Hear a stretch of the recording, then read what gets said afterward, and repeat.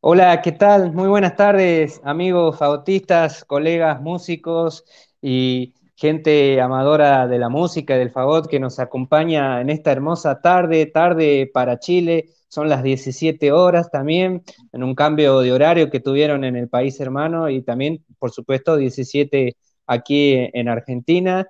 Eh, es un honor saludarlos nuevamente en esta novena charla fagotística y saludo a mi amigo y compañero que está del otro lado de los Andes, a Diego Llanos. ¿Cómo estás, Diego? Hola, Enzo. Buenas tardes a todos. Gracias por conectarse y acompañarnos. Eh, para mí es un placer nuevamente y un honor compartir con todos ustedes. Gracias, Enzo, por esta oportunidad. Eh, tú sabes, en estos tiempos, tiempos, digamos, raros, difíciles, estamos más cerca que nunca con, estas transmisiones, tratando de llegar a todos ustedes en casa. Y bueno, eh, ¿qué más que, que darle una bienvenida a, la persona que tenemos hoy, no? Sí, la verdad que un honor. Este, yo quería rescatar de, este, de esta charla fagotística, este, bueno, que vamos a presentar una vez más a alguien de Latinoamérica, de alguien de Chile, este, una colega que está haciendo una labor muy importante allá. Y rescato que nosotros como fagotistas sabemos que, somos pocos, pero sobre todo en Latinoamérica, ¿no? Hay, hay pocos espacios este, donde podemos desempeñarnos, ya sea en la orquesta, ya sea en la docencia, eh, salidas profesionales, y me parece muy importante este, cuidarlos muchos, eh, muy importante conocernos y reconocernos entre nosotros. Este, y hoy vamos a tener esa oportunidad de conocer a alguien que está trabajando ya hace tiempo en un lugar muy, este, muy lindo. Y, bueno, rescato mucho eso, este, entonces que vamos a tener esta oportunidad en, en esta charla. Así es, Enzo, concuerdo totalmente contigo. Eh, la persona del día de hoy es una, es una maestra excelente, es un eh, excelente fagotista, excelente maestra, excelente persona, que en mi caso personal tuve el agrado de conocer alrededor del año 2014, 2015, por ahí, justamente en su orquesta, la Orquesta Sinfónica de Concepción, donde ella desarrolla su labor como primer fagot solista. Eh, paralelamente, ella es maestra de la Cátedra de Fagot de la Universidad de Talca y bueno, también hemos tenido eh, todo estos años el contacto, el, cariño, eh, hemos conversado muchísimo, muchísimo con, Patricia, es, una persona increíble. Eh, para mí es, alguien a quien yo admiro y respeto y estimo muchísimo. Es una fagotista que, para mí es un orgullo y un honor poder entrevistar hoy y, también presentar contigo. Así es que, nada, Enzo, eh, feliz de, esta oportunidad y, que podamos eh, llegar a ella, ¿no? Buenísimo. Bueno, vamos saludando a la gente que se conectó entonces. Ahí veo que algunos ya están saludando a través de, del chat de, YouTube. Este, y bueno, y vamos a comenzar con, con, música. Qué mejor manera de empezar para ir conociendo poco a nuestra invitada. Este, si querés contarnos un poquito, Diego, rápidamente de, qué es lo que vamos a escuchar. Vamos a escuchar el segundo movimiento del trío de Francis Poulenc para oboe, piano y fagot. Francis Poulenc es un, como ustedes saben, un compositor francés que compuso este trío. Eh, eh, esto fue eh, comisión para, para, la gente que estaba en el, en, el, Conservatorio de París. Es una obra muy conocida para, para trío. Y hay versión, originalmente fue escrito para fagot francés, pero bueno, obviamente tú sabes que nosotros siempre estamos interpretando música del periodo francés. En este trío tenemos eh, a nuestra invitada, eh, que eh, ya hablamos un poquito de ella, pero además de eso, la, particularidad es que también toca Cristina San Martín, el oboe, que eh, también personalmente ella fue mi maestra, de, mis primeras maestras, cuando, comencé mis primeros pasos en, la música clásica, en, el área de viento, en este caso yo, en el fagot, eh, ella es maestra de oboe, es oboísta, Cristina San Martín, oboísta también en la Orquesta Sinfónica de Concepción. Muy gratos recuerdos y fue maestra, digo, porque eh, tocamos siempre juntos las audiciones de Fagot y, y, Oboe. También hay, un, hay, un, hay una persona bastante importante en todo, en todo esto que conecta todo, que es Paulina González, que fue mi primera maestra, que ella es muy amiga de, Cristina y también es, es, es una amistad de, de, Patricia, ¿no? Entonces, en el piano tenemos a Svetlana Gotova, si bien digo, y bueno, este es el segundo movimiento del trío eh, para oboe, piano y fagot de Poulenc. Bien, ahí lo escuchamos entonces.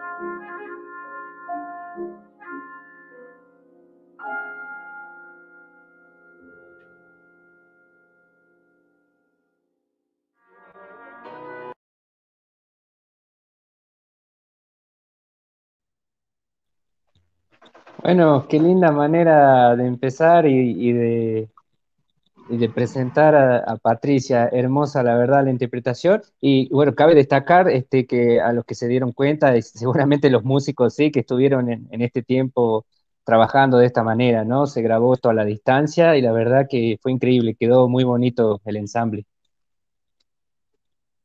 Así es, la música habla por sí sola, ¿no? Las texturas, todo, todo. Es, que, esta música es impresionante, es alucinante. Bien, bueno, vamos a recibir a Patricia ahí, que le pedimos, que ya vemos que está por ahí, que simplemente encienda su micrófono y su cámara. Este, a ver si. ¿Qué tal, Patricia? Muy bienvenida. Muchísimas gracias por aceptar nuestra invitación. No, gracias a ustedes. Es un gusto para mí acompañarlos hoy día, un gusto porque eh, los dos dijeron palabras bien importantes al partir el, este programa. Eh, también es súper relevante eh, para mí el trabajo de fagot que se hace acá en Chile. es difícil, bueno, yo creo que Diego lo tiene más que claro, lo que cuesta ser fagotista en Chile. Es bien complejo, entonces para mí es sumamente importante que me hayan invitado y tener la oportunidad de mostrar a mucha gente que nosotros también tratamos de, subir el nivel, de mostrar el fagot y qué mejor, como dijo Enzo, creo, de poder conocernos y también poder entre todos ayudarnos. ¿no? Yo creo que lo, todo lo que ha ocurrido con esta pandemia, eh, que tiene cosas muy malas, también eh, han ocurrido cosas buenas como esta que están haciendo ustedes con su canal Fagotac y también con todas las masterclass que hemos visto. Así que agradecida en realidad a ustedes. Usted. Qué bueno. el, Gusto, el, gusto de nosotros, el gusto de nosotros de tenerla acá es, es, un, es un enorme placer. Bueno, yo personalmente he compartido, sí, eh, sí, obviamente, más con usted a través de los años, ¿no? Entonces, es un placer tener, tenerla acá, mostrar su trabajo, que, conversemos hoy eh, de temas muy eh, puntuales e interesantes que, usted quiere abordar también.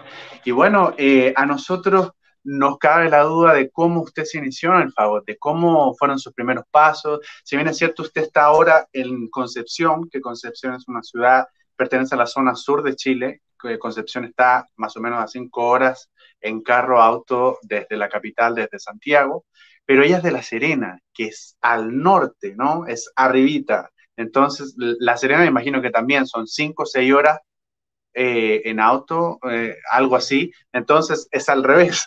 Usted está abajo ahora, acá en el sur. Bueno, me imagino que sus inicios fue, el, fue el, en, La Serena, ¿no? Cuéntenos un poquito de eso. La verdad es que eh, sí, mi, inicio en el fagot eh, en la ciudad de La Serena, de donde soy, en la cuarta región, eh, el norte de Chile. Y claro, aquí existió, partió uno de los proyectos más emblemáticos, yo diría, del país, que es una, la primera escuela artística experimental de música. Nosotros teníamos ramos generales y durante la tarde eran ramos musicales. Cuando yo llegué y mi papá me matriculó en el colegio, él eligió el, en realidad el instrumento, no yo. Yo quería tocar violonchelo. Eh, pero él, no sé por qué, él eligió el fagot para mí. Em, bueno, pero yo, yo siempre digo que por algo pasan las cosas. Al año de estar, porque yo entré más o menos como a los 13 años a, estudiar fagot, yo ya tenía claro al año que lo que quería hacer de toda mi vida era ser fagotista. Eh, me, apasionó eh, el instrumento, me encantó. Y ahí partí.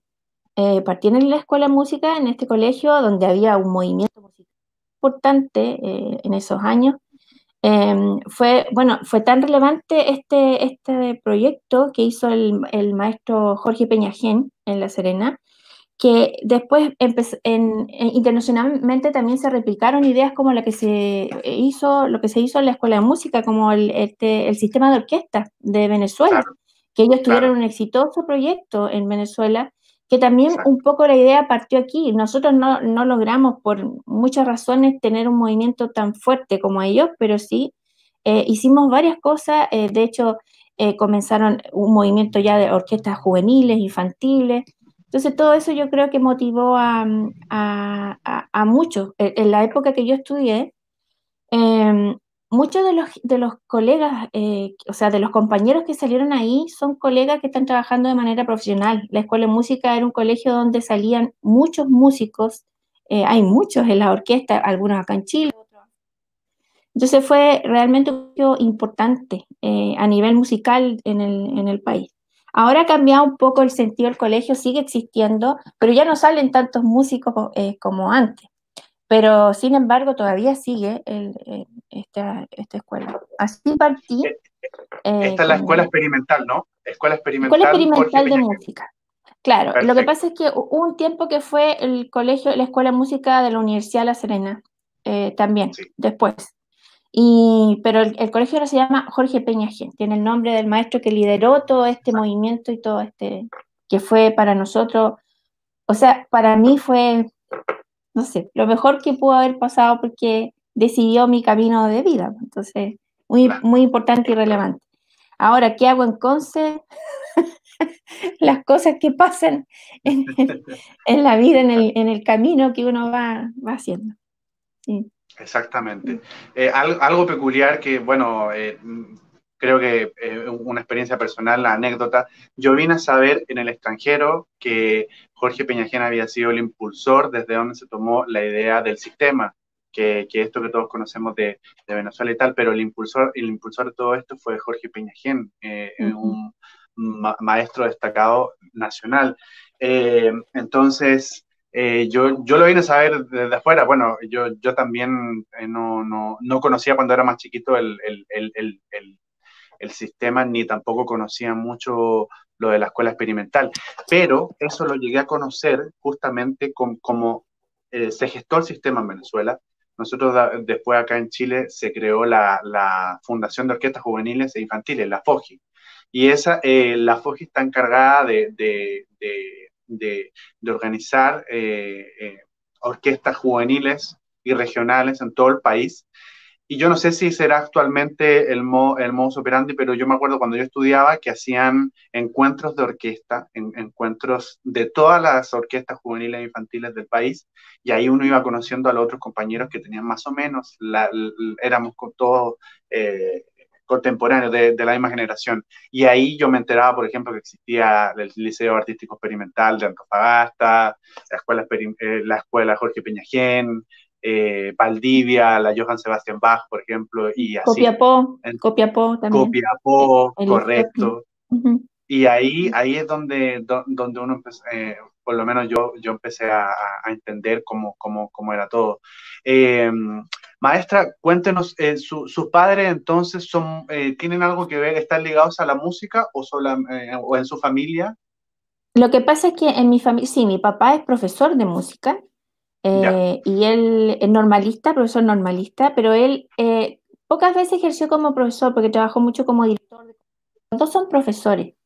Los dos son profesores. Y mi mamá, que trabajaba en la Secretaría Ministerial de Educación, pero ella se dedicó, bueno, ella cantaba en el coro siempre cantó. O sea, por algún lado estaban ligados. Mi hermana del medio tocaba clarinete, mi hermana mayor tocaba guitarra, toda la familia tenía algo que ver con música, pero nunca se imaginaron que alguien lo iba a eh, tomar eh, de manera profesional. De hecho, cuando yo ya decidí eh, de, irme a Santiago, porque tenía que ir, era el único lugar donde podíamos estudiarlo de manera profesional, mis papás no querían porque significaba que yo salía de, la casa, y era tanta mi decisión de que yo era lo que quería hacer que me fui, me fui, llegué a Santiago a vivir, una provinciana, a estudiar a la Universidad Católica primero, estudié en la Universidad Católica, luego eh, me cambié, eh, bueno, con el profesor Pedro Sierra, con el Partido Católica, em, luego me cambié a la Universidad de Chile, a estudiar con el profesor Jorge Espinosa, con él estuve un tiempo, pero por esas cosas de la vida yo tuve que, nunca pude terminar mi, mi, carrera, eh, porque en el, no me acuerdo bien qué año, además que no quiero decir qué año. no lo vamos a preguntar tampoco, no se preocupe, no lo vamos a preguntar. Vino, vino mi, una persona que es para mí no sé, es como cuando en la vida aparece alguien que es esa persona que tú necesitas como para darte un empujoncito, ayudarte a estar ahí. Eh, vino a Chile un maestro, un tremendo maestro, profesor del Conservatorio de Karlsruhe en ese momento y también de la Escuela Superior de Aachen, en Alemania. Vino a Chile a hacer un curso. Pedro Sierra organizó este curso. Entonces él me conoció, conoció a de todo Chile Y él en ese momento me hizo una invitación. Me dijo, a mí me gustaría que tú te fueras a estudiar a Alemania. Eh, yo feliz, por supuesto, que me dijeran eso, pero él me puso una condición. Y la condición era que yo necesitaba tener un fagot bueno, un fagot de nivel para estudiar en Alemania. Entonces yo tenía un fagot chino en ese momento. Yo lo quería mucho, pero no era el mejor fagot como para hacer algo así. Y bueno, y justo cuando estaba en la Universidad de Chile se presentó esta posibilidad de viajar a Argentina. Me ofrecieron un trabajo en la Orquesta de Cámara en la provincia de San Luis, em, de las que tengo un, montón y, muy lindos recuerdos. Ahí conocí a la maestra Andrea Jursic, trabajamos juntas, después nos encontramos en Alemania también. Em, ella, eh, bueno, ahí, ahí me fui a trabajar por dos años y medio. Fue, fue difícil, pero gracias a ese trabajo pude comprar mi primer mi primer fagot Pugner, que, que tuve, que casi más o menos lo tuve ocho años ese instrumento. Entonces tuve que poner en la balanza que en ese momento y claro, claramente era poder viajar a Alemania sobre todo porque llega un momento que tú te das cuenta lo complejo que es ser fagotista en nuestro país. O sea, Chile es un, yo siempre, yo siempre he dicho que, por ejemplo, los bronces, la percusión ha tenido suerte porque han venido maestros de fuera, tienen escuelas claras, tienen escuelas con todas las herramientas, herramientas técnicas, básicas, una buena base, pero cuando eh, tú ya te empiezas a dar cuenta que hay algo que nos falta, que no está y que no sabes a quién acudir. Entonces, eh, yo, por ejemplo, siempre he sido de estar estudiando hasta el día de hoy. Yo estudio, si yo tengo que, estudiar con alguien que es más joven que yo, que, o sea, yo ahí estoy, siempre, porque trato de aprender para mí, por supuesto, y por yo estoy trabajando, se llama 21 años en la orquesta, eh, y por mis alumnos, para refrescar conocimientos. Entonces, cada vez que en ese tiempo, yo esto desde chica fui así, cuando venía alguien a, a Santiago, por ejemplo, en el Teatro traía la orquesta de Nueva York. Allá estaba yo conversando con los fagotistas, clase con los fagotistas. Después venía a Berlín también. O sea, cada fagotista que venía a Chile, yo estaba ahí tratando de, aprender, de aprender. Porque cuando uno sale afuera, cuando tú te vas, yo creo que digo que tú sabes más que nosotros este tema. Cuando tú sales afuera, tú te das cuenta eh, las pocas posibilidades que hay acá y cómo tienes que rebuscártelas, como por ejemplo para poder salir, eh, postular algún proyecto, tener una beca, o sea, es todo tan eh, así, tan luchado, todo, que en el fondo tú, bueno, yo siempre digo, sí, el camino es difícil, pero la recompensa es linda porque finalmente uno hace lo que le apasiona hacer, lo que le gusta hacer, y si tú encuentras un trabajo, mejor todavía. pero es complejo.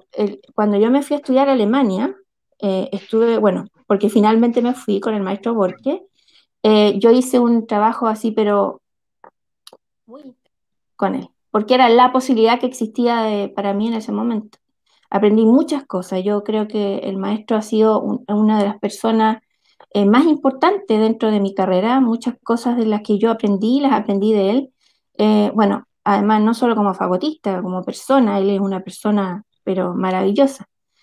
Em, eh, yo creo que eh, todas estas formas de que yo he aplicado para poder aprender el fagot son válidas y son lo que trato de transmitir y también compartir ahora con mis alumnos. Claro, sí, sí, sí, eh, eso es cierto. Lo, disculpa, Enzo, dale.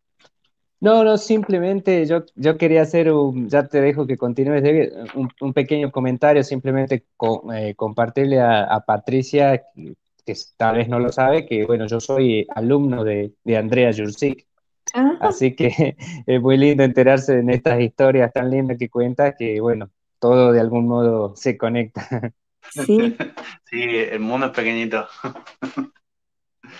Eh, no, no, yo solamente quería complementar con lo que dijo. Sí, es muy difícil la oportunidad acá en, Chile. Eh, bueno, mi, mi, caso personal, muy, muy, vagamente voy a decir, yo salí a buscar mis oportunidades porque no podía seguir pagando la universidad, en, mi caso personal. Eh, la educación es muy cara, eso, es, eso, es, eso es algo cierto, no, no, no es ningún misterio, es de las educaciones más caras en todo el continente americano y eh, uno se enfrenta a muchas cosas, se enfrenta a un choque cultural, a un choque también de energía, eh, eh, de la formación que tuvo. Entonces es súper complejo y es un desafío, es un desafío, por supuesto, pero bueno, eh, yo siempre lo vi, lo vi como, como, siempre lo vi como un deportista de, de alto rendimiento, ¿no? De, de, que ellos están preparados, ellos saben que ellos tienen que correr Usain Bolt. Usain Bolt sabía que tenía que correr en Londres, eh, no sé cuánta temperatura había cuando ganó el, oro, pero sabía que tenía que correr en Londres, un, un lugar mucho más frío que, que Kingston, en, en, Jamaica, donde él entrenaba. Entonces él sabía, mentalmente sabía, oye, me voy a cagar de frío, pero tengo que correr como una bala. O sea, los músculos se van a contraer, pero él se preparó para eso. Entonces esto fue, eh, fue en un momento también que eh, eh, exige mucha energía. Así es que eso, eso es lo, lo, único que puedo decir, mucha energía, mucha paciencia, mucho entendimiento y, y sobre todo paciencia. Eh, eso. Eh, bueno, entonces usted nos decía eh, en sus inicios, La Serena, luego Santiago, la Católica Universidad de Chile, después con el maestro Borges, Oscar Borges en Karlsruhe. Luego usted también ha, ha tenido experiencias con, con, con otros maestros internacionales, ¿no? Según su currículum, ha, ha, tenido también oportunidades de perfeccionamiento. Eh, eh, cuéntenos un poquito de eso, que con, con quién sí, tuvo la oportunidad de... En este, o sea, en este, bueno, en dos ocasiones con el maestro, porque cuando ya compré mi segundo fagot, cuando quise cambiar el fagot, ese viaje también sirvió para un aprendizaje para mí. O sea, yo generalmente estoy haciendo esto, o sea, si puedo viajar y, y volver a tomar una clase con el maestro Borges o con otro, lo hago. Eh, y en, en, estas invitaciones que me hacen de repente, eh, por ejemplo, fui, bueno, me, me, invitaron a Sao Paulo, en, en la Asociación de Dobles Cañas, a hacer una masterclass y a, un concurso también, eh, me, estaba como invitada, y aquí conocí a muchos maestros, bueno, algunos los conocía de antes, eh, pero tuve más cercanía con ellos, y hay uno que me llamó mucho la atención, que me encantó, me encantó como pedagogo, me encantó como fagot, por supuesto, eh, que es el maestro David Thomas Real. Él me pareció no sé, es, es, como la forma que él tiene de entregar su, su, conocimiento es una forma muy simple, llega mucho, es muy fácil como entenderse con él. Yo vi muchas, o sea, yo me paseaba por porque eran varios, eh, bueno, yo creo que ustedes conocen, este, hay varios profesores y uno entra a cada clase, entonces eh, uno tiene la posibilidad de ver a muchos fagotistas y a mí me, él me pareció un, un, gran pedagogo, aparte de un muy buen fagotista. Entonces, yo siempre he tratado de buscar para mí también para mis alumnos reflejar conocimiento eh, y, y, que la gente también, y, y, que ellos tengan la posibilidad, a lo mejor no pueden ir ahora, más adelante sí, pero yo sí, entonces yo trato de compartir eso que voy aprendiendo con ellos. Y lamentablemente, eh, bueno, yo primero viajé, él me invitó, una persona eh, eh, fui a España, al Musiquena de San Sebastián, durante una semana, más o menos, creo que fue una semana, estuve en sus clases, todas sus clases, de las 9 de la mañana hasta las 9 de la noche, eh, salíamos a almorzar un ratito y to vi todas sus clases, tomé clases también yo con él, eh, fue un perfeccionamiento para mí sumamente importante, eh, porque uno va refrescando sus conocimientos, va aprendiendo cosas nuevas, se va acordando de otras que se van quedando, eh, porque, bueno, yo llevo ya 21 años en la Orquesta Sinfónica, entonces eh, en este trabajo que yo estoy acá, eh, somos dos solamente en la fila. Yo no tengo la posibilidad de rotar mi puesto de solista con otra persona, entonces es un trabajo bien intenso.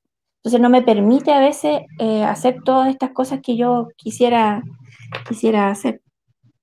Pero con el maestro fue una experiencia súper, súper enriquecedora para mí y estoy segura también que para mi alumno. Lo que pasa es que justo partió todo esto primero del estallido social, entonces eh, no, no, tuve cómo eh, compartir tanto con ellos y después esto de la pandemia, pero bueno, seguimos con clase online y yo siempre estoy tratando de, de, de compartir con ellos. Pero yo invité este año al maestro, en noviembre venía, estaba absolutamente todo listo, su sponsor ya había, o sea, estaba todo ok, pero pasó esto y, no se pudo. Así que mm, yo espero tenerlo en, eh, el próximo año, si Dios quiere. Lo hemos conversado, él está muy entusiasmado, creo, él no ha venido a Chile, creo que también le salió otra invitación porque iban a hacer un encuentro en Santiago de fagotistas y iba a venir también con Fabián Contreras, venían a Santiago y de ahí iba a ir a, Talca. Eh, así que yo espero de todo corazón que en algún momento él pueda venir. Como digo, es un, tremendo eh, profesor. Y bueno, también yo tengo que agradecer dentro de lo que, de lo que yo he aprendido en el fagot, que también cuando él estuvo como primer fagot de la Sinfónica, eh, yo trabajé con, o sea, yo estudié con él, y eh, a Ezequiel Fanger, por supuesto, también yo tomé eh, clases con él. Y en Argentina, con el maestro Sergio Rech, también cuando fui a trabajar, también yo tomé algunas clases en el periodo que yo estuve trabajando allá siempre me gustaba esto de, estar ahí con la presión del estudio y todo eso. Claro. Qué eh, interesante, qué, interesante su, experiencia, sobre todo cómo, cómo, ha llegado a ser lo que, lo que es hoy, y sobre, y sobre su experiencia en orquesta. Eh, usted, nos contaba que comenzó en, San Luis, ¿no? Eh, comenzó en San Luis tocando, luego usted se, se, fue a estudiar y tuvo un periodo ahí, pero, pero ¿Cómo eh, llega usted a la Orquesta Sinfónica de, Concepción? ¿Cómo, porque usted también, ha tenido experiencia tanto en la Sinfónica de Concepción, Sinfónica Nacional. Eh, cuéntenos, por favor, cómo, cómo usted eh, aborda todas estas grandes experiencias. La verdad es que, bueno, yo partí, yo, yo toco fagot y contrafagot. Entonces, el contrafagot, en el periodo que yo lo empecé a estudiar, no había muchos contrafagotistas en Chile. Entonces, gracias al contrafagot, yo tuve mucho trabajo como músico eh, invitado a muchas orquestas, al Teatro Municipal y a la Sinfónica de Chile también. Desde ahí yo partí con, con, digamos, mi experiencia en orquesta. Toqué todas las sinfonías de Mahler, siempre con contrafagot. Siempre estuve con el contra primero. Fagot toqué muy pocas veces, de hecho, a Concepción yo venía como músico extra, pero de contrafagot, no de fagot. Y en un momento era el titular aquí en la orquesta el maestro Luis Gorelick, em, hace muchos años atrás, ya ni me acuerdo, pero hace tiempo, no, el año, el año 2000 creo que fue, ay, no me acuerdo bien, pero él, eh, yo venía de contrafagot y en un momento algo ocurrió y me dice, ¿usted podría tocar fagot? Sí, digo yo, no hay problema, yo todo. Entonces, de ese momento nunca me dejó tranquila y que él quería que yo tocara y en la orquesta y tocara en la orquesta. Entonces yo dije, ya, yo voy a estar un tiempo, eh, un par de años, porque en Santiago yo, como cuento, yo tenía eh, posibilidades en el fagot y en el contra, sí trabajaba mucho, tenía, hacía mucho, esta, me paseaba por las orquestas que se iban formando, pero mm, me quedé, pues todavía estoy acá. Y dentro de, bueno, yo, me, yo tengo que decir que yo me formé como primer fagot aquí en la orquesta. Yo aprendí a tocar y hice todo un trabajo. Bueno, los que me conocen bien y de repente mis hijos se ríen un poco porque soy bien fanática. Si yo digo que voy a hacer algo, lo hago.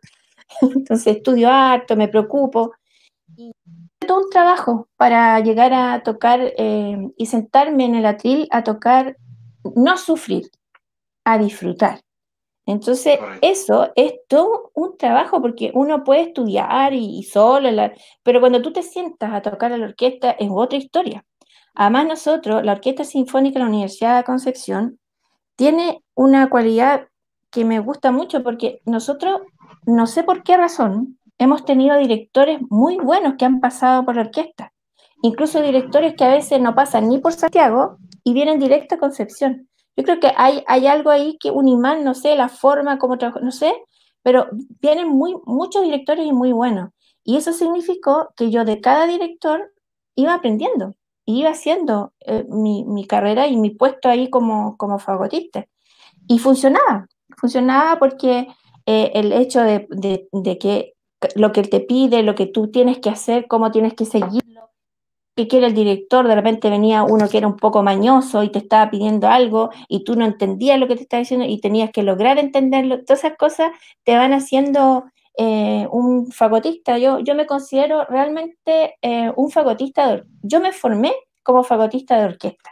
Me encanta tocar eh, obras de solista y todo, pero no, a mí mi pasión es tocar en la orquesta.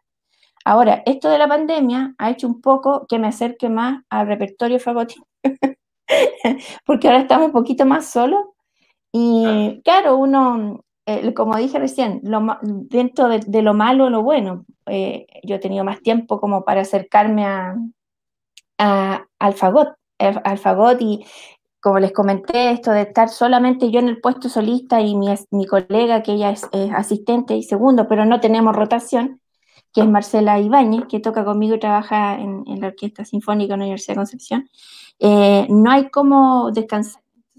Ahora, para mí ha sido un, un periodo muy bonito porque me, han, me he reencontrado eh, con el fagot y haciendo también y buscando otras formas de poder hacer música, como lo que vieron con el trío, ¿no? claro. Son, son innumerables eh, las actividades que ha tenido con la orquesta. Ustedes, fueron, lo, fueron la primera orquesta que empezó a hacer eh, videos en, colaboración acá en Chile. Y, bueno, yo en lo personal tengo, tengo el, gusto de conocerla, eh, de conocerla la orquesta, toqué con usted la orquesta, la escuché también tocar en, obras compuestas para usted, la Vivaldiana, aún recuerdo eso, la Vivaldiana. Eh, también eh, con la orquesta han tenido actividad en, otros países, como en México. Eh, entonces es, una actividad bastante extensa y además que usted menciona que no tiene una rotación, es un trabajo bastante, mucha actividad, ¿no? Es bastante actividad. Entonces, eso, eso, eso es admirable. Y, y bueno, eh, usted también estuvo un periodo en la Sinfónica Nacional, ¿no? Si bien no me equivoco. Sí, lo que pasa es que cuando yo estaba trabajando aquí en la Orquesta de Conce, em, en, algo ocurrió, bueno, se quedaron sin primer fagote la Orquesta Sinfónica de Chile y me invitaron a hacer el cargo por un mes, pero finalmente me quedé dos años con ellos. Entonces ahí fue más intenso aún, porque yo hacía el puesto acá y hacía el puesto allá. Entonces yo no sé si existe una persona que ha tocado tanto repertorio de orquesta como yo. Hemos tocado muchísimo, de verdad que, eh, de verdad. Y yo siempre que hablo con, cuando estamos trabajando partes de orquesta con mis alumnos, siempre digo, y es verdad, yo lo pienso así, no hay nada que sea tan difícil. Si uno eh, estudia, se prepara bien, uno lo puede tocar. Hay cosas, claro, que son más difíciles que otras y todo, pero se puede. Yo, yo, yo digo que, yo siempre les digo a ellos que se puede, se puede ser un buen fagotista. Hay que tener disciplina, sí, mucha disciplina. Si no, no, no se puede. Es difícil así. También me gustaría hablar de algo importante dentro de mi, de mi cómo partí la docencia. Eh, es importante para mí que, que conozcan, eh, yo partí haciendo clases de fagot en, en Curanilahue. Curanilahue es la, una comuna que está cerquita de, Concepción, a una hora y cuarto más o menos. Eh, y ahí vamos todos los sábados, una vez por semana, un grupo de profesores de la Orquesta Sinfónica eh, de Concepción a hacer clase, alumnos, alumnos que mm, ellos tienen la, eh, quieren aprender música y no tienen ninguna posibilidad. Es, un, es una comuna de un pueblo minero, donde hay un liceo las clases, un proyecto muy bonito que hay. Llevo ya creo que siete años con ellos, no más, mucho más. Tengo em, dos alumnos que han salido de Curanilahue y que ahora ya de como fagotistas y lo han buscado, han tomado su carrera de forma profesional. Entonces, el trabajo que se hace en ese lugar que yo creo que, no sé si todos lo conocen, es, una, es impresionante porque es, un, es una comuna muy pequeñita y el movimiento de orquesta que hay ahí es inmenso, inmenso. O sea, que ya hay, que yo eh, eh, eh, tenga dos alumnos que están estudiando de manera profesional, porque allá los niños van a aprender, a jugar, el instrumento no es que ellos estén buscando algo, pero sí aparecieron dos. Una que es una alumna que, que la tengo hace mucho tiempo, que es Camila Benítez, em, que es la primera alumna que salió, y mi alumno que está ahora partiendo recién, que es Byron Santos, que también es de la. Eh, es importante que, conocieran que hay lugares acá en, Chile donde uno ni se imagina que existe un movimiento como este, eh, donde también partí aquí, eh, aprendí a aprender hacer clases. claro, porque así me he ido formando en, todas las cosas que, he ido haciendo. Claro. De hecho, justamente iba, iba ya a consultar ese gran, eh, eh, bueno, es, un pilar también en tu biografía, su actividad como, como docente, eh, porque bueno, yo, yo también he conocido a los muchachos de, de, de, también su, labor con, con, estuvo también haciendo clases en Valdivia, si no me equivoco, ¿no? sí, ¿verdad? Se me había olvidado. Estuvo en Valdivia, eh, entonces es una labor extensa. Y, bueno, ahora cuéntenos más sobre eso, que es súper interesante. Ahora usted es docente de la Universidad de Talca, eh, es, es, la maestra de la cátedra de Fagot. Cuéntenos sobre eso, cómo, cómo, qué es lo que significa para usted y, y, cómo ha cambiado su vida fagotística. Yo, la verdad que siempre pienso que el, el arte es, es, un compromiso social. Yo, yo, me siento feliz de transformar la vida de, de mi alumno y acompañarlo a cumplir sus sueños, los que desean ser fagotistas. Entonces, pensando que es un compromiso social, es que esto que yo, claro, porque yo en un momento tuve muchas posibilidades de quedarme en Alemania a estudiar, o incluso irme con mi familia a Alemania. Pero no, algo pasó, que no funcionó. Y, yo creo que por las cosas, como dije antes, por algo pasan en la vida. Entonces, eh, estoy formando alumnos que yo ni siquiera, son tantos alumnos que tengo que yo no sé en qué momento pasó esto, que fueron llegando muchos alumnos, muchos alumnos. Entonces, tú cuando los ves, que ellos se esfuerzan, que estudian, que van subiendo su nivel, sea, es, es, muy, muy bonito, como conté recién, el, bueno, partí en Curanilagüe, ahí hay un semillero de alumnos, para mí, de Fagot. Eh, ahora hay una niñita que tiene 11 años que yo espero que sea fagotista, que es muy buena, es muy buena ella. Em, pero claro, y, y, en Talca, en Talca llevo como cinco años como profesora. Era, lo que pasa es que siempre eh, dentro de esta búsqueda de formar fagotistas, eh, eh, justo eh, tuve la oportunidad de ser, porque la idea mía era formar una escuela de fagot, una escuela donde yo pudiera dar mis herramientas, conseguir herramientas de otros profesores. Eh, hay que decir que en Chile hubo un movimiento en el fagot muy dormido. Cuando llegó el maestro mm, em, Gilba, el primer fagot de la orquesta del Teatro Municipal, cuando él llegó a Santiago, ahí empezó como un movimiento más importante, como que estuvo muy pasivo todo el, la, digamos, la enseñanza del favor. Entonces yo veía eso y yo también quería que los alumnos del sur tuvieran posibilidades de ser fagotistas, pero no teníamos en qué lugar, hasta que apareció la, la Universidad de Talca, que claro, que ya abrió la carrera y los chicos aquí sacan una carrera como profesores profesores y licenciatura y como fagotista. Eh, en la universidad en este momento hay cinco, cuatro alumnos, cuatro alumnos, em, una chica que congeló y, y tengo, sí, cuatro alumnos, bueno, y en Concepción eh, clases particulares con dos alumnos más, no sé, hay, hay harto movimiento de fagotistas aquí al, al, al sur de, de Chile. Bueno, y ahora creo que también está la, profesora Montserrat Miranda en la Universidad Católica. Entonces como que empezó ya a, haber un movimiento de... Pero creo que la cátedra más grande está en Talca, si no me equivoco. Sí, parece que es la cátedra más, más grande que está en Talca, así que no, yo feliz de poder em, enseñarles a ellos.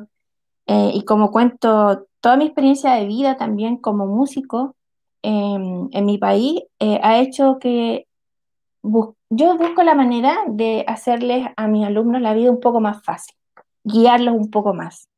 O sea, que ellos tengan esa posibilidad, porque a veces uno se siente como muy solo en esto, ¿no?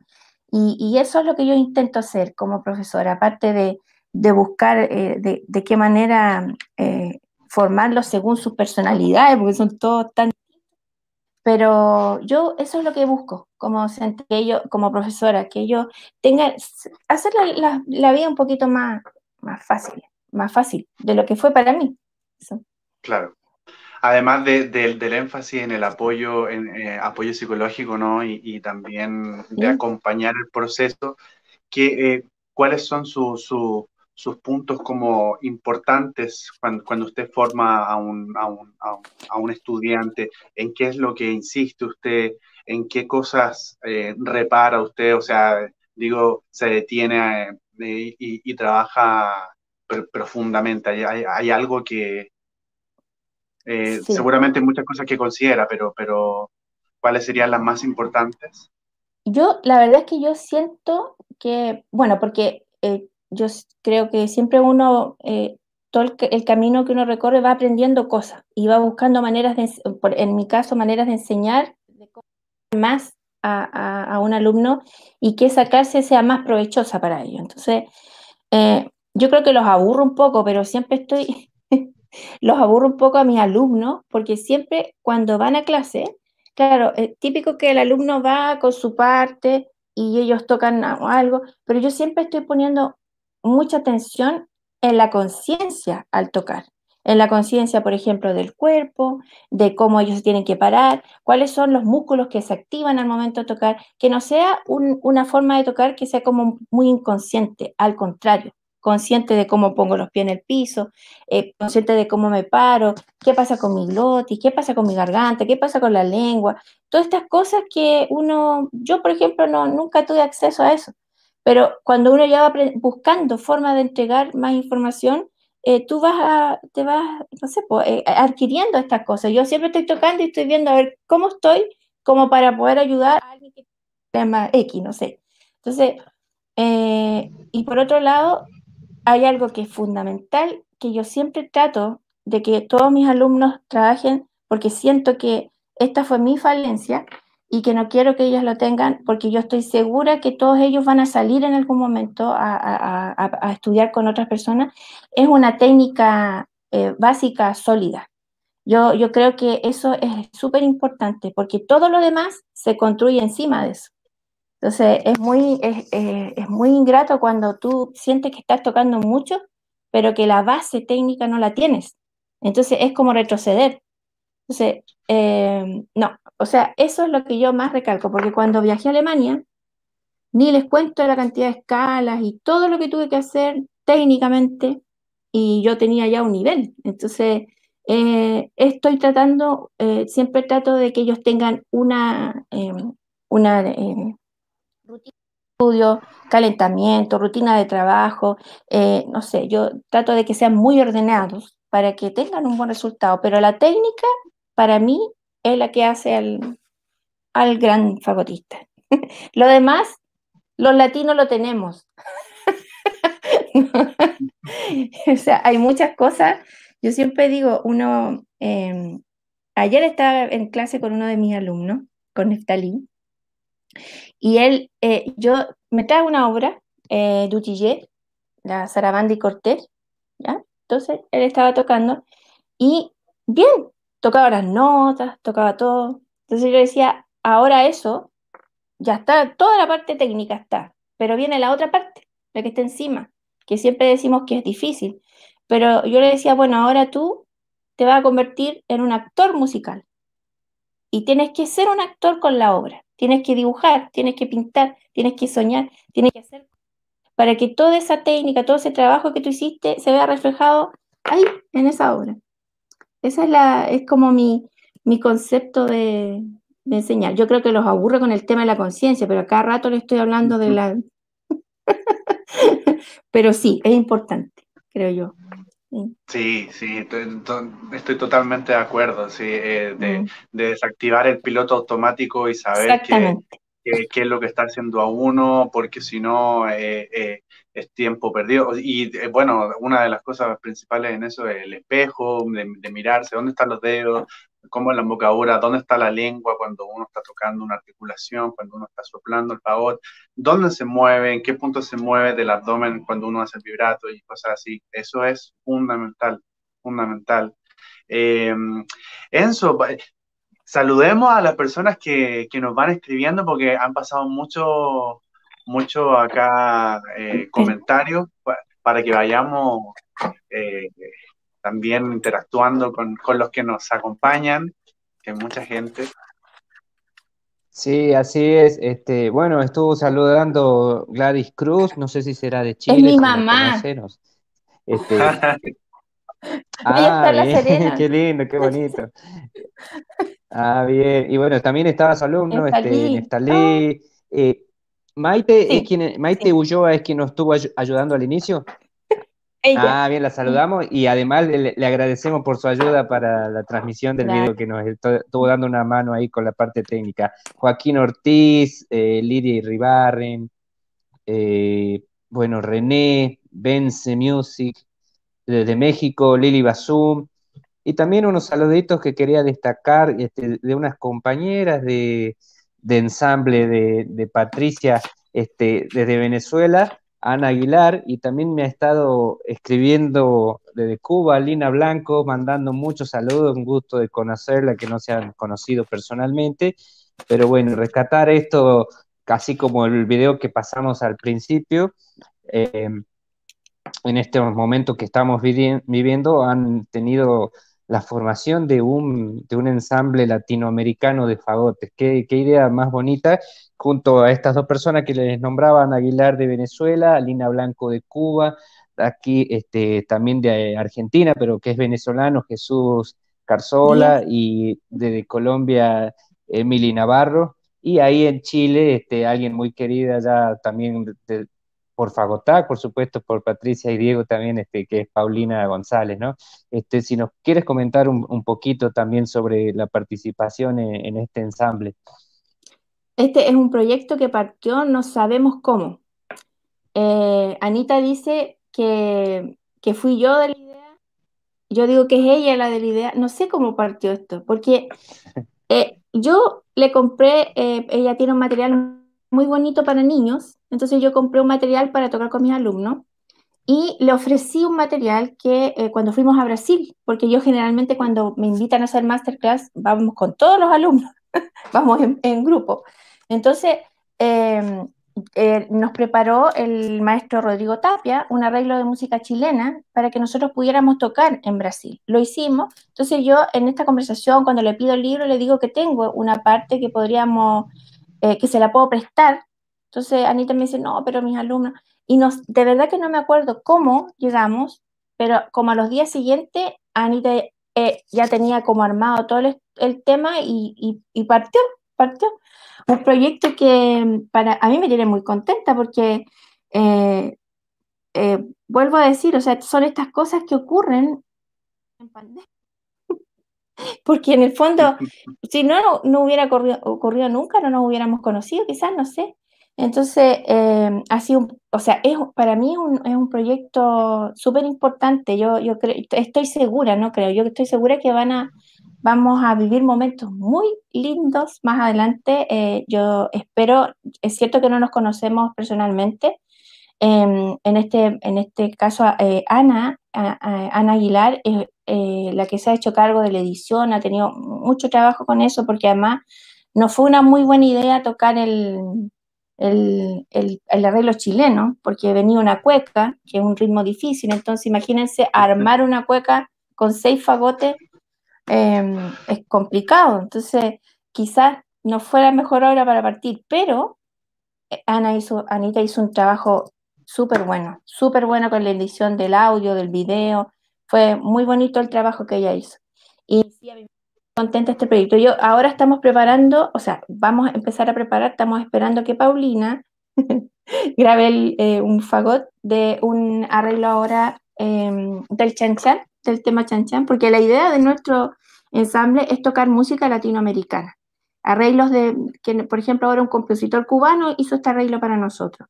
Eh, hay otros compositores que también están haciendo arreglos para el grupo. Em, por, por, lo que vas, yo, yo estoy súper entretenida con, con, con, poder participar y, con poder juntarnos eh, pronto, pronto, ensayar. ¿Dónde? No sé, pero por ahí nos vamos a encontrar, por ahí van a saber todos del ensamble eh, latinoamericano. Sí. Buenísimo. Una excelente idea, ¿no, Enzo? Sí.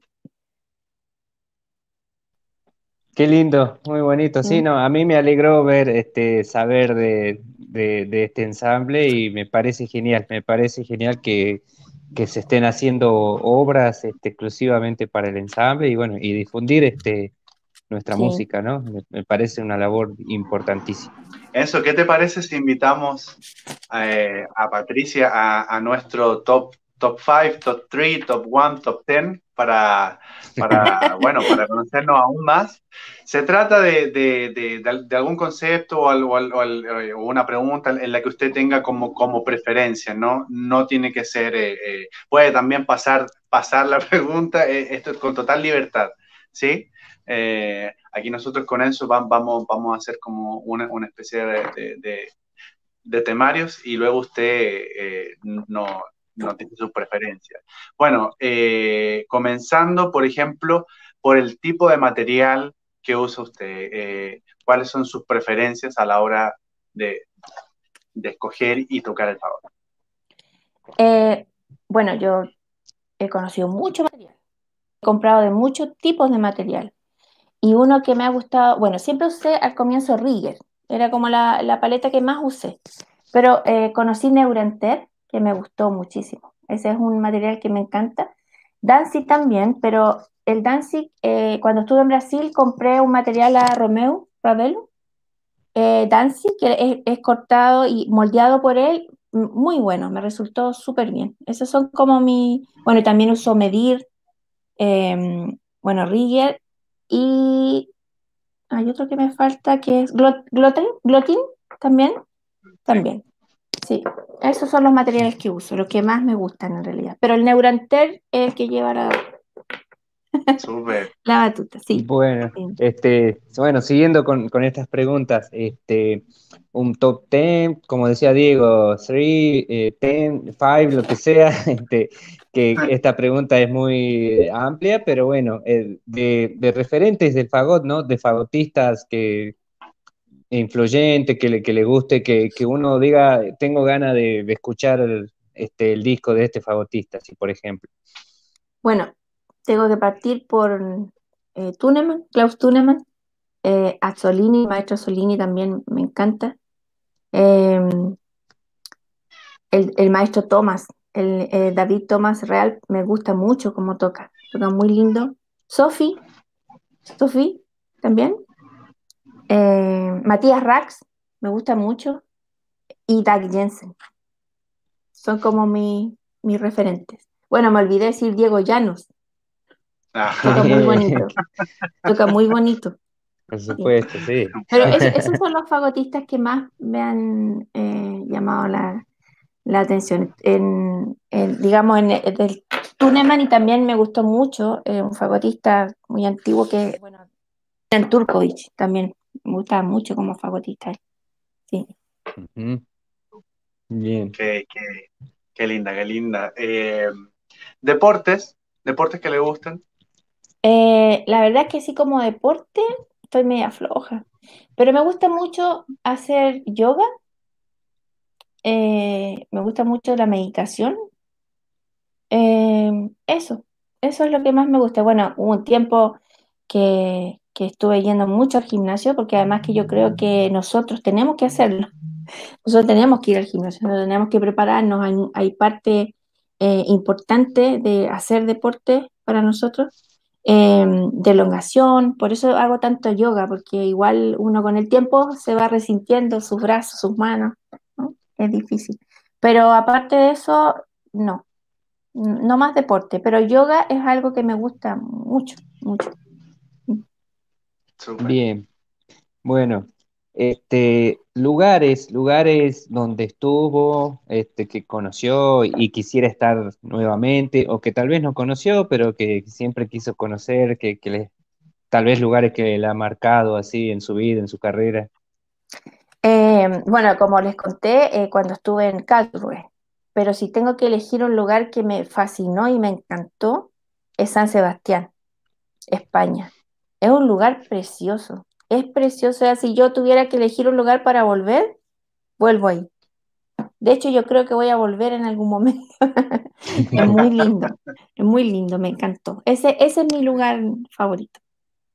Qué lindo. No, y, aparte que ahí, ahí, ahí, se come muy bien, que ese, que ese era otro, ese es la siguiente, el, eh, la siguiente pregunta. ¿Platos de comida o, qué tipo de comida eh, son sus preferencias? Va a ser divertido lo que voy a decir, no sé, porque yo soy, bueno, me gustan mucho varias cosas, pero hay algo que me encanta que son las sopas, las cremas de tomate, de verdura, me gustan mucho. Nunca puede faltar en el hogar para mí las, las cremas de verdura. Eso me gusta mucho. La comida, bueno, yo estuve en dos ocasiones cuando fui a, Lima, a, que me invitaban al Conservatorio Nacional de Lima a hacer clase. Estuvimos con Iván, Iván Palomino también, con el maestro Borges. Qué manera de comer rico ahí. La comida peruana es, muy, muy rica también. O sea, si tuviera que elegir, eh, comida peruana es exquisita, muy rico. Bueno, en España también, como tú dices, los pinchos, comen mucho los pinchos, las paellas también, rico. Qué lindo. La verdad que uno va viajando con todo, esto que está diciendo. Este, Muy lindo. Este, bueno, eh, aquí Lida también saludó. Este, no sé si parientes, Lida Iribarren. Y mi hermana, mi hermana mayor, la que tocaba guitarra, la que tocaba guitarra, ella es. Ah, qué lindo. Bueno, este, mientras Diego piensa la, última pregunta del top 10, top 5, eh, le, lo invito al público, ya para finalizar, si quieren hacer este, alguna, alguna pregunta, este, están, invitados. Súper. Muchas gracias. Sí, yo, yo, yo quería decir lo mismo, por favor, con toda confianza, las preguntas que quieran hacer, comentarios, eh, son totalmente bienvenidos. Bueno, la última que se me ocurría era los, eh, los top de los métodos de Fagot, ya sea de técnica, de ejercicio, lo que ustedes consideren. Bueno, aquí hay varios que me gustan, pero yo siempre dentro del sílabo en la universidad no puede faltar Milde, por supuesto, los Milde, todos los, todos los Milde. Eh, Gatti, el método Gatti, también creo que es un gran método eh, Milde, Gatti, Obrados, también hemos estado trabajando mucho en tema de escalas con Obrados. Eh, ¿Qué me falta? Algo? Krakam también es un buen libro. También es un buen libro, sí. Bueno, y ahora con, con, esta cercanía que hemos hecho, este contacto con los fagotistas de Venezuela, de Colombia, ha sido bien interesante porque hemos compartido varios métodos y de hecho nos compartieron un método de eh, Christopher Wade, que es de calentamiento, que ha sido súper bueno. Em, Jesús, Jesús nos compartió muchos, muchos métodos, pero yo los principales para mis alumnos son estos, Obrados, Gatti, los Milde, eh, y los otros trabajos más técnicos también, eh, que tenemos como solito, sin método. sin método. ¿Hay algún, eh, bueno, como para antes de, seguir con las preguntas que, o comentarios que nos quiera hacer la audiencia, ¿hay algo que usted quisiera destacar o, a usted le gustaría como, reflexionar o algún consejo a, las generaciones de ahora o a los fagotistas? Eh, ¿Hay algo que usted le gustaría entregar, algún mensaje? La verdad es que mm, más que mensaje, yo, o sea, sí, yo creo que va a servir como mensaje. Em, yo creo que una generación de fagotistas, donde la que estás tú, Diego, que también estuvo, eh, que está en Melodía Baeza, Constanza, que no me acuerdo su nombre, su apellido, la Connie, em, han hecho una, un trabajo súper importante para nosotros, para nosotros que estamos aquí en Chile. Eh, es importante que ustedes salgan, que les vaya bien, que los alumnos que están acá vean que se puede. Eh, el ejemplo también de ustedes, de que se, pueden lograr cosas y lo que pasa es que uno tiene que sacrificar otras. Cuando yo me acuerdo que Borges siempre me decía, si tú quieres ser fagotista no existe el día domingo. Y era así. O sea, hay que estudiar, hay que estudiar, hay que estudiar, hay que estudiar. Entonces, esas cosas a mí me gustaría eh, que ellos eh, reflexionaran y pensaran. Eh, yo de verdad que admiro mucho este, la generación de ustedes porque eh, fueron capaces de lograr cosas que si miran hacia atrás, poca gente lo hizo. Entonces yo creo que eso es un ejemplo a seguir por los, por las futuras, eh, por los futuros fagotistas. Es importante. Sí, creo yo. Muchas gracias. Bien. Mm. Bueno, muchas gracias, Patricia. Este, bueno, comenzamos con las preguntas. Eh, llega justamente de Chile Drago Cristóbal, que nos pregunta ahí, pregunta para Patricia, eh, ¿algún estudiante que lo ha marcado? Saludos desde Puerto Montt. La verdad es que eh, sería feo que yo dijera el nombre de algún alumno. yo los quiero a todos iguales. Eh, trabajo con todos, bueno, no con todos iguales, porque cada uno es un mundo distinto. Pero em, la verdad es que, claro, si, si tengo que que pensar hay alumnos que partieron de muy pequeños conmigo y verlos desarrollarse al nivel en que están ahora, para mí me ha marcado en realidad. Eso ha marcado mi vida. También me ha marcado como, como profesora. También me marcó mucho otra alumna que es del sur, que es de Fresia, que ella terminó su carrera en la, en la universidad y ella partió de cero tocando. Nada, ella, ella es más, cuando yo ella hizo la prueba de admisión para entrar a la universidad, apareció tocando flauta. Y luego llega a mi sala a clases de fagot. yo no entendía nada. Entonces, ver que ella termina la carrera y que es capaz de tocar conciertos de Weber, con cinco años de trabajo, eso para mí me marca. O sea, no puedo hablar de uno, yo creo que tengo que hablar de, de muchos, de todos, de todos los que han sido mi, tengo otro alumno que es tecnólogo médico, él se fue a Santiago, eh, volvió, sufrió porque se quedó sin instrumento, eh, hicimos lo posible para que su papá, para que tuviera un instrumento, es un chico que toca muy, muy bien. Si él quisiera, podría ser fagotista, creo. además que tiene un plus sobre el otro alumno que él le apasiona tocar el fagot. Entonces, todas esas cosas a mí en realidad me, me van marcando como profesora. Por eso digo que no es uno, son muchos, muchos. Así es. Bueno, Renata Ulloa pregunta, ¿cuánto tiempo estudia al día aproximadamente? ¿Sabe por qué me, ¿sabe por qué me está preguntando? Porque ella me Lo que pasa es que sí, yo estudio antes. Entonces, estudio eh, bastante rato, o sea, nosotros tenemos que estudiar eh, bastante tiempo. Entonces, creo que puedo decir que estudio por lo menos unas cuatro horas diarias, pero quizás me quedo corta, porque siempre estoy tocando, tocando.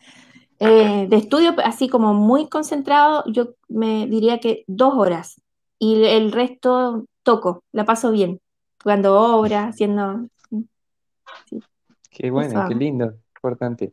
Acá hay una, una, pregunta muy linda que creo que no, nos sirve a todos y a quienes están comenzando también. ¿Algún consejo para gente que quiera comenzar eh, en la música como profesión? Em, yo creo que lo primero que hay que, hay que querer, hay que conocer este, este mundo de, la música, este mundo de, lo que nosotros hacemos, que es un mundo diferente. Eh, es, especial porque no, yo siempre me acuerdo una vez que me dijeron, me preguntaron, ¿y, qué haces tú? ¿Cuál es tu profesión? Y yo dije, yo soy músico. Y me dijeron, ¿y qué más? Como que acá no era una profesión ser fagotista, no era una profesión ser músico. Es difícil, por eso hablábamos antes de que lo, que cuesta también eh, el, trabajar y el estudiar esta carrera acá. Eh, por lo tanto, mi mejor consejo es que, tiene que tienes que realmente tener la pasión por hacer esto, porque a veces uno se cansa, uno se agota, uno tiene que dejar cosas por estar estudiando, em, son hartos los sacrificios que uno hace. Entonces yo creo que eh, la convicción y el deseo profundo de querer hacerlo es que hace que, tú lo logres. O sea, no hay que entrar a, estudiar esta carrera si no estás realmente convencido que es lo que quieres hacer. si no, no funciona. No funciona.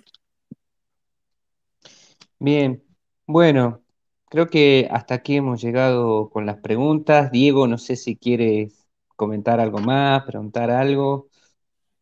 Bueno, eh, yo creo que siempre se van a quedar temas interesantes para conversar, o sea, eh, para siempre abordar muchísimos temas. Eh, yo personalmente, ahora le dejo también el pase de que si quiere hablar de algo en especial también, pero personalmente antes, antes de eso yo quiero agradecer, agradecer públicamente a usted, maestra, por, eh, por, toda su dedicación, por todo su, su eh, por, por, todo su esfuerzo, por todo su trabajo como docente, como, como fagotista todas las cosas que ha hecho, porque, eh, bueno, yo la conocí ya cuando, cuando, cuando ya estaba, yo no la conocí estando en Chile, entonces yo la, la conocí estando afuera y yo también creo que con, con esa visión, quizás una visión diferente, eh, aprendí también a valorarla en, muchos aspectos. Entonces, yo por lo menos estoy súper honrado y orgulloso de, de, y agradecido también de poder contar con usted aquí hoy y, mostrarle también a todos nuestros colegas y a todos quienes nos están viendo y a, todo nuestro continente y al mundo fagotístico quién es usted. Entonces, eso para mí es muy importante. Muchas gracias, Diego. Eh, gracias por invitarme, de verdad. Y como, porque, como les digo, poder mostrar lo que uno hace, eh, incluso ahora que yo estoy contando todo lo que hago, uno como que no se da cuenta de todo lo que va logrando en el camino. Y, así como, como última cosa, eh, para dejar a los chicos que se están formando en, como fagotistas, yo pensar que, o, les digo que el, el, único lugar en que el éxito viene antes del trabajo en el diccionario. Porque el éxito no llega por sí solo, sino que requiere de mucho trabajo. Por eso hay que tener mucha disciplina, mucha perseverancia, eh, mucha, eh, mucha fuerza, todo para poder eh, lograr ser un buen fagotista.